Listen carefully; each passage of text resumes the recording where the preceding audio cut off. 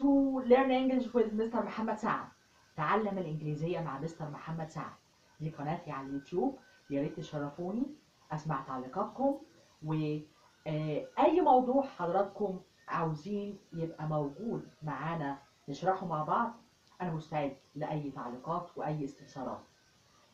فيديو النهاردة هنكمل الفيديو السابق. اللي ما حضرش الفيديو السابق يا ريت يراجعوا معانا. اتكلمنا عن إزاي نحل جزئيات مختلفة في امتحان اللغة الإنجليزية للثانوية العامة. وكان فيديو دسم فعلا لأن إحنا غطينا جزئيات كتيرة من الجرامر. النهاردة هنكمل برضو سؤال تشوز وهنعرف إزاي نحل سؤال تشوز بطريقة سهلة وبسيطة. بس أهم حاجة لازم أنت كطالب تشتغل يبقى عندك حصيلة لغوية and you should study hard. I advise you to study hard. You had better study hard. It's advisable to study hard. If I were you, I would study hard. دي كلها قاعدة should. ازاي بستخدم should للنصيحة. وكل التعبيرات دي تعبيرات مساوية لشد لازم تذاكرها وتراجعها برضو عندك موجودة في المنهج. ويا ريت كمان أسمع في تعليقاتكم إزاي ننفي التعبيرات دي بستعملها في النفي إزاي؟ You shouldn't. إيه اللي يسويها في النفي؟ على سبيل المثال ممكن أقول I advise you not to. بيجي وراها infinitive مصدر فعل. يا ريت تراجع القاعدة دي كويس ويا ريت تعرف إزاي يبان فيها دي جزئية من جزئيات الجرامر عندك. زي ما إحنا قلنا الفيديو اللي فات كان فيديو دسم جدا وتناولنا جزئيات من الجرامر كتير وازاي نعرف نحلها مع بعض بطريقة سهلة وبسيطة. Let's complete together. طبعا the first question in the exam is choose the correct answer. Number one, I enjoy and enjoying, have to enjoy, have enjoyed reading novels since I was a child. حسيتكم تفكروا شوية؟ Yes, excellent. You are great. برافو عليكي. برافو عليك. Yeah. الجملة عندي هشوف الأول بتتناول أو بتتعامل مع المعنى ولا الزمن هقرا جملة كويس أترجمها وأشوف إيه التكة اللي فيها الأفعال هنا شبه بعض يبقى بيلعب على الزمن على طول وده إحنا قلناه قبل كده وأنا هأكد عليه في فيديوهات كتير لأن بحب أكرر كتير علشان المعلومة توصل عندك قوية ومتنساهاش ابدا. كده الأفعال شبه بعض يبقى بيلعب على الزمن. هبص إيه التكه اللي عندي؟ آه since. منذ. since منذ. إيه قاعدة since بيجي قبلها إيه؟ بيجي قبلها present perfect مضارع تام. بيكون من إيه المضارع التام؟ have أو has تصريف ثالث للفعل. have أو has تصريف ثالث للفعل. have أو has تصريف ثالث للفعل. present perfect. المضارع التام بيعبر عن حاجة حصلت في الماضي وليها أثر في الوقت الحاضر أو ما زالت مستمرة. يبقى since بيجي قبلها مضارع تام، فين المضارع التام؟ آه أبص كويس، أفتح عيني، أنا لحد الآن ما حلتش الجملة، أنا I am not in a hurry، أنا مش مستعجل، ما تستعجلش أنت كمان. enjoy. مع السلامة. تيجي مع العصافير، أنت مش نافعة معايا. and enjoying. ما ينفعش. which tenses and enjoying. ها. Present continuous. مضارع مستمر. برافو عليكم. مش نافعة معايا. Had to enjoy اضطررت أن أستمتع. طبعا مش نافعة معايا. الماضي من have to اضطر أن. مش نافعة. يبقى خلاص. كده أنا حليت الجملة بطريقة سهلة وبسيطة. يبقى have enjoyed have enjoyed عرفتها إزاي؟ من since مفتاح حل الجملة بتاعتي. since يعني إيه؟ منذ ليها قاعدة خلي بالك. طبعا بتعبر عن present perfect مضارع التام. وسنس في ناس بتعمل خلط كتير بينها وبين for لمدة. وبيجي وراهم إيه؟ خلي بالك هنا since دايما بيجي وراها ماضي بسيط since بيجي وراها ماضي بسيط past simple. بتيجي في الامتحان دايما. يبقى since دايما بيجي وراها جملة ماضي بسيط من ضمن اللي بيجي وراها. بيجي وراها past simple. since I was a child since I saw him and so on. بيجي قبلها مضارع تام طب إيه الفرق بين since و for يا مستر؟ هقول لك الفرق إيه. ده كانت جاية أهي.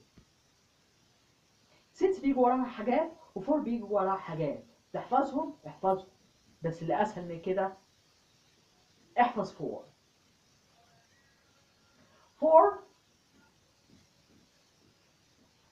بيجي وراها. وإنت مغمض. A an the رقم أو اسم جمع. والباقي since. كده انت حفظتها خلاص. نقولها تاني. يبقى الفرق بين since و for احفظ بقى for. for بيجي وراها إيه؟ an the رقم أو اسم جمع. والباقي ياخد since. وخلاص. الدنيا بقت سهلة وبسيطة عندك. مع Mr محمد سعد. Okay, let's move to number two. حلوة, let's move to number two.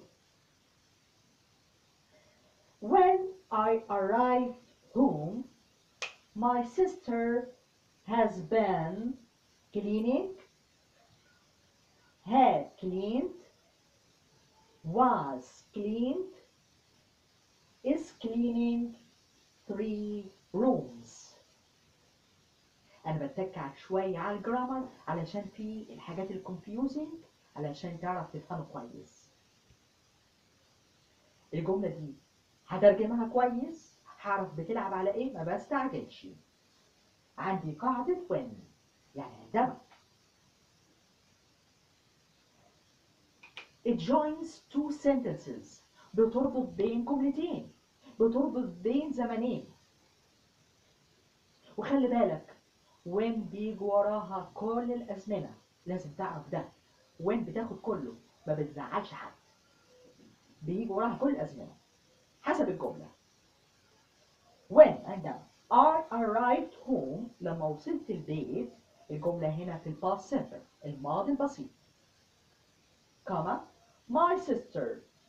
الجملة في الماضي. هختار مضارع تام ما تنفعش معايا. مع السلامة طيري مع العصافير has been cleaning مضارع تام مستمر مش هتنفع معايا had clean أقول لها استني شوية. ماضي was clean كانت بتنظف. ينفع أقول كانت بتنظف نفسها؟ ما ينفعش. When I arrived home my sister كانت بت... ما ينفعش طبعا. مبني المجهول هنا مش هينفع. وهنا is cleaning بتنظف؟ لا مضارع ما يجيش مع ماضي هنا. يبقى خلاص كده الجملة اتحلت.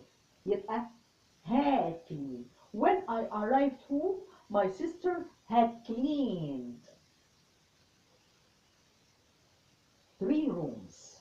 When عندما ربطت بين زمنين. طب مين يقول لي had cleaned which tense had cleaned زمن ايه؟ gorgeous برافو عليكي ماضي تام ماضي تام بيعبر عن ايه الماضي التام؟ برافو عليكم. الماضي التام بيعبر عن حدث قديم. حدث قديم حصل قبل حدث تاني أحدث منه.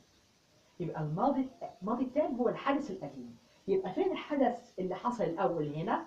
طبعا نظفت ثلاث غرف. هات كلين يبقى هو وصل كانت أخته خلاص نظفت ثلاث غرف. يبقى وين بتربط بين زمنين ماضي بسيط ماضي تام. خلاص؟ في أزمنة الماضي خلي بالك في برضه جرامر ليها في أزمنة المضارع عشان كده بقول لك خلي بالك من الزمن Let's move to number three. He's done, been, أو been, gone, went to visit Adam. He will be home tomorrow. هسيبكم تفكروا شوية Yeah, it's easy. You can answer it. برافو. Excellent. برافو عليكي. He's gone to visit مش راكبة خالص. He's been gone. في هنا ال apostrophe s اختصار has. Yeah. في وراها تصريف ثالث للفعل. هختار إيه؟ طبعا وانت مش. مع السلامة. طيري مع العصافير. هختار إيه بقى هنا؟ بليز been ولا gone؟ وإيه الفرق بينهم؟ Who can tell me what is the difference between them? Yeah. يا مستر هما الاثنين ينفعوا لا خلي بالك خلي بالك هو هنا بيقول لي he will be home tomorrow يعني هو مش قاعد معايا يبقى مش هتنفع been he's been has been أو have been يعني راح مكان ورجع منه. Like I can say I have been to the USA أنا سافرت للمملكة للولايات المتحدة الأمريكية. أنا معاك أهو.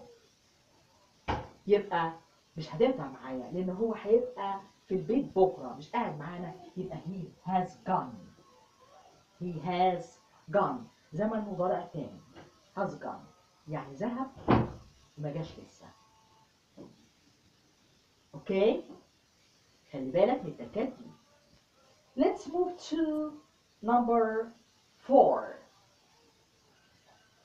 The tourist sat by the pool and lost, hid, appeared, faced the sun. إن في التشوز عندي هنا الكلمات مختلفة يبقى بيلعب على المعنى مش على الزمن واخد بالك من الحتة دي؟ أترجم كويس أعرف إيه الكلمة المناسبة؟ واختار الكلمة الصحيحة بناء على الجملة. بختار الكلمة اللي تكمل معنى الجملة مش تبوظه. يبقى the tourist said جلس the bus of sit by the war the pool and the sun. عمل إيه للشمس؟ أكيد واجه الشمس. Faced appeared ظهر المعنى مش عايزها مش نافع خالص. Lost ما ينفعش. Hid اختبأ ما ينفعش. يبقى أنا بجيب الكلمة اللي تكمل معنى الجملة مش تبوظه. بكون حافظ الكلمات كويس. وإحنا قلنا إيه الطريقة إيه أو أحسن طريقة لحفظ الكلمات. احفظ الكلمات عن ظهر قلب ده شيء كويس مش وحش. بس الأفضل من ده إنك أنت تجيب موضوعات. الكتاب اللي عندك كتاب الصف الثالث الثانوي. في اللغة الإنجليزية. تقرأ الموضوع وأنت بتقرأ ما تقراش الكلمات الأول. اقرأ الموضوع الأول وأنت بتقرأ.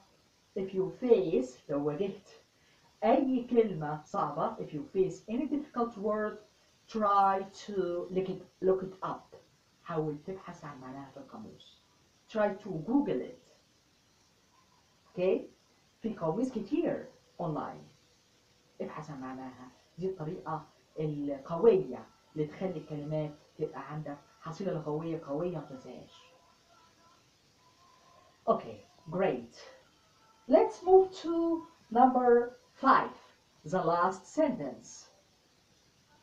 We haven't traveled by plane by since for last years. Who can tell me which tense is the sentence? الجملة دي زمان. Wonderful. برافو عليكم. لا ده أنتوا مذاكرين كويس. أنتوا هتخ- هتخشوا الامتحان هتدخلوا الامتحان هتكسروا الدنيا. برافو عليكم. يبقى مضارع تام طبعا الجملة دي في مضارع تام. كويس خالص. يبقى هنا بيلعب على إيه؟ مضارع تام. وفي عندي لسه قايلينها for بيجي وراها إيه؟ وسنس بيجي وراها إيه؟ خلي بالك. نترجم الجملة كويس ونشوف المعنى عايز إيه. إحنا ما سافرناش بالطيارة سنوات. for ولا since منذ ولا for yeah for لمدة. Excellent. برافو عليكم. Years. إحنا قلنا for بيجي وراها a and the رقم لكلمة جمع آخرها s. يبقى for على طول years. سنوات. for بيجي وراها المدة كاملة. بدايتها ونهايتها. أما since بيجي وراها نقطة بداية الحدث مش نهايته. since بيجي وراها نقطة بداية الحدث مش نهايته. أما for بيجي وراها اللوكشة كاملة. بيجي وراها الحدث أو مدة زمنية بدايتها ونهايتها. Okay, so here I'm going to choose four. Okay, ناخد لازم تاخد بالك من التكات دي. أتمنى تكون الحلقة عجبتكم النهاردة. يا ريت أسمع تعليقاتكم واستفساراتكم على قناتي Learn English with Mr. محمد سعد. تعلم الإنجليزية مع مستر محمد سعد. وأشوفكم على خير. جود باي مع السلامة